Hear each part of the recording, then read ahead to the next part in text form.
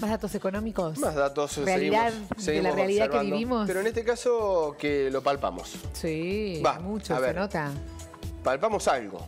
Vemos los alimentos en góndola. Sí, Nos parecen caros. con un precio. Nos parecen caros, sí. Pero cuando uno analiza el valor de origen, se conoce la, la brecha importante que hay entre el precio del valor de origen de un producto y cómo uno lo compra en las góndolas. Ya hemos tratado en algún momento Sí. este tema también. Hay algunos alimentos que son más emblemáticos Sí, que otros en cuanto a la gran diferencia, algunos que son menores, pero lo cierto es que esta brecha se va agrandando cada vez más. Está creciendo, 5,3% ha crecido esta brecha entre el valor de origen y el valor del producto cuando lo tenemos en góndola. Vamos a analizar este tema con un especialista. Le damos la bienvenida a la doctora Gabriela Lizana, que es miembro de la Cámara Argentina de la Mediana Empresa, o sea, de la CAME. Le damos la bienvenida ahí, la- vemos a la doctora Gabriela. ¿Cómo está usted? Buenos días.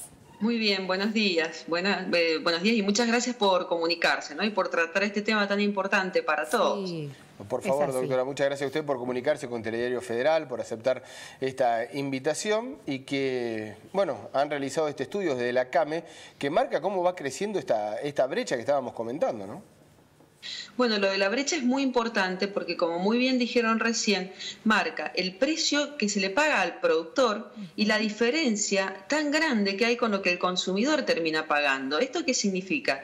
Que se perjudica quien produce. Y esto pasa en todo el país, ¿no? Quien produce, eh, en nuestro caso, es el caso de la vitivinicultura, pero también tenemos la la manzana, los cítricos dulces, la caña de azúcar, los tamberos, o sea, los 32 oasis productivos que tiene CAME como referencia, están sufriendo eh, esta situación, precios muy bajos en el campo y después precios altísimos en la góndola. góndola. Quiere decir que el, el consumidor también se perjudica con esto, porque, a ver, estamos viendo una caída en el consumo de casi todos los productos muy importante también. Entonces, se están pagando productos caros y se está consumiendo menos de todo lo que nuestro país produce. Claro. Eso es una situación muy grave que, está, que trae aparejada abandono de propiedades eh, y pérdida de trabajo genuino. Entonces, eh, realmente es alarmante y por eso nosotros hace tiempo, desde CAME, remarcamos la importancia de trabajar sobre la cadena comercial, ¿no? Bien, doctora, ¿en qué productos se ha notado más esta brecha de la que estamos hablando?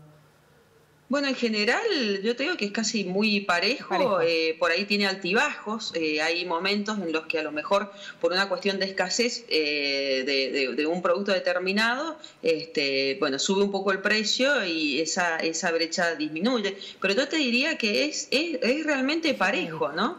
Llama mucho la atención que, bueno, por ejemplo, la pera y la manzana es uno de los que más Sí. de los que más incidencia tiene, el vino también, que a pesar de que no está en el índice IPOD, nosotros eh, lo, lo- lo llevamos siempre este, presente.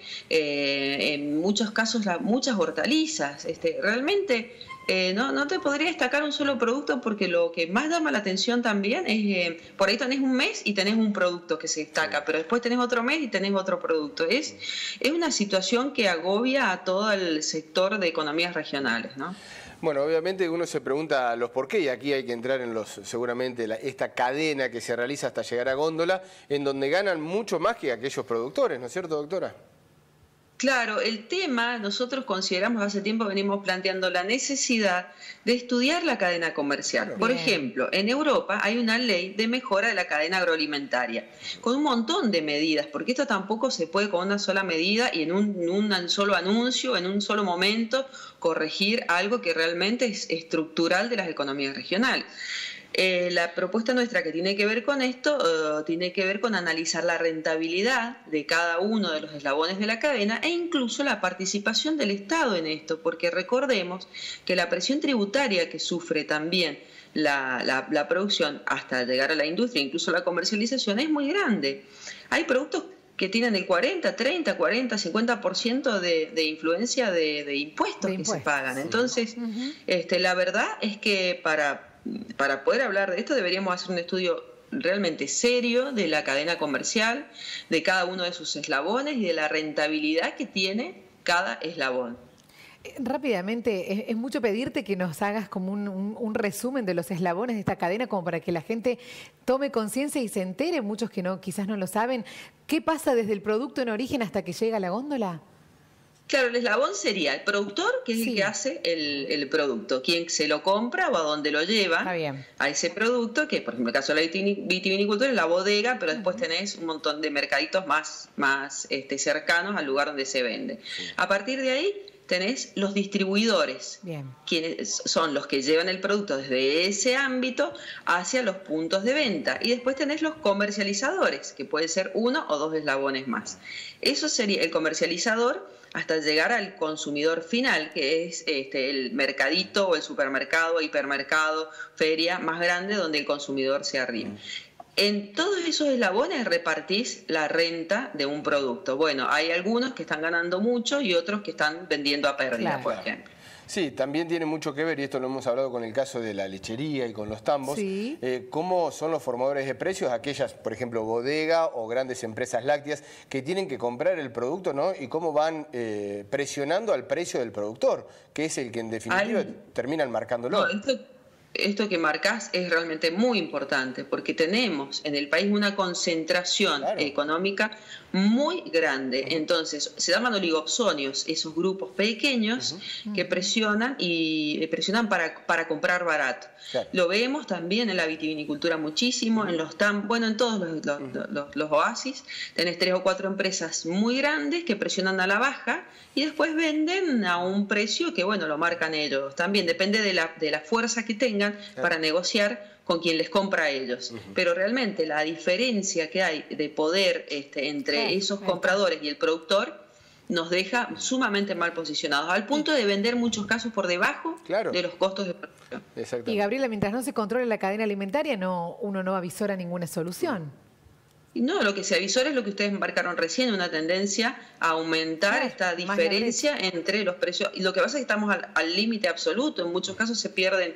A ver, el, Valle de Río Negro ha perdido muchísimas hectáreas cultivadas, toda la zona de Cuyo ha perdido muchísimas hectáreas cultivadas, la caña de azúcar se ha concentrado muchísimo también. Y los tambos, ni hablar, los tambos que se han perdido. Entonces, la gente realmente no puede seguir produciendo de esta forma, el consumidor no puede seguir pagando los precios eh, a los que se están vendiendo y, y debemos tomar medidas inmediatas. La verdad es que yo no sé por qué hace tantos años que uno viene planteando esto, que no se toma en serio el tema de la cadena comercial. Creo que es el mismo poder que tienen los grandes comercializadores, las grandes empresas que realmente están haciendo un negocio que al menos les deja más rentabilidad que si pusieran la plata a plazo fijo, ¿no? que también ese es otro problema que tenemos. Doctora, ¿tendría que haber un equilibrio o hay algo que está absolutamente desfasado? Es decir, uno entiende que es muy poco lo que se le paga al productor, incluso a pérdida muchas veces, como usted lo mencionaba, pero a ver, ¿está muy bajo ese pago a la materia prima o, o está muy alto el precio en góndola? ¿Es un equilibrio Las de dos cosas. Las dos cosas. Sí. Sí, sí, las dos cosas, las dos cosas. El producto en góndola debería estar más barato porque evidentemente si es una cuestión de oferta y demanda estamos viendo nosotros que el consumo cae. No, ¿Cómo puede aumentar el precio cuando el consumo cae? O sea, deberíamos entender Exacto. Y bueno, y el productor realmente así no puede seguir produciendo. En muchos casos lo hace porque, bueno, pone plata de otro lado, pone esfuerzo, sacrificio, pero ya realmente la situación es insostenible para, para muchos, ¿no? Nosotros, te vuelvo a decir, la representatividad que tiene CAM en este sentido nos da eh, la, posibilidad de observar 32 oasis productivos en el país. Entonces no estamos hablando solo de una, de una región o de un, de, un sector, ¿no? Entonces eso es lo que, que, debemos resaltar, me parece, que es, nos urge tomar medidas en este sentido. Y lo peor es que no lo vemos en agenda, ¿eh?